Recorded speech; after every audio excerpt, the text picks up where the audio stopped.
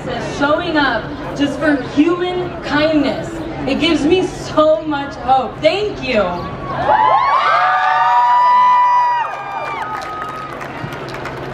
right, a lot of us. Whether this is your first rally or you've been fighting this for years, you're here now. We are all here now.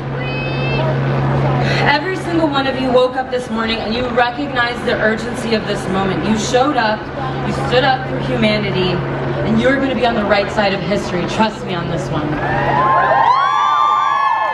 For us on Vida, I mean, we had to do something about it. And this crisis, it's very close to home. We are all children of immigrants, we are spouses of immigrants, and we are immigrants ourselves.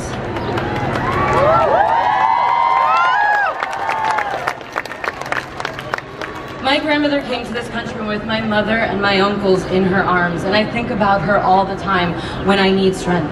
She was a single mother in the 60s. She didn't speak English. She left everything she knew in the middle of the night running here for her life with her three little children. And what drove her here is what drives all of us. She wanted to protect her family. We all want to protect our family and to keep them safe. And because of her courage, I get to live her dream every single day, and I don't take that for granted. I can't bear to think of when my grandmother came here at most, her most vulnerable.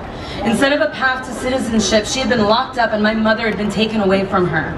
And this is exactly, as we've said so many times here today, what is happening to family like families like ours. And let's be very clear.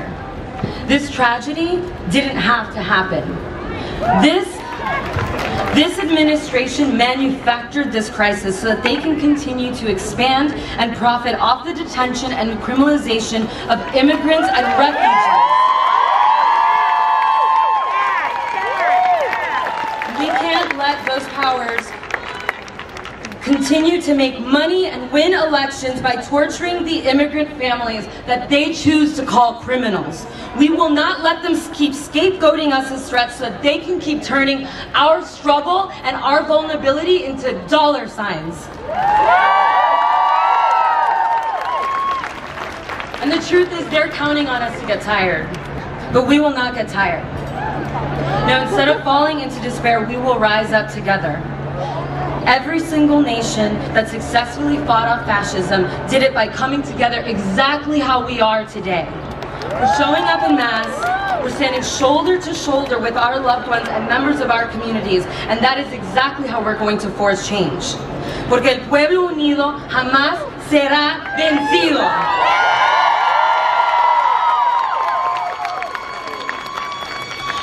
We're gonna keep showing up and we're going to keep fighting because we demand 100% reunification of families affected and we will not stop there.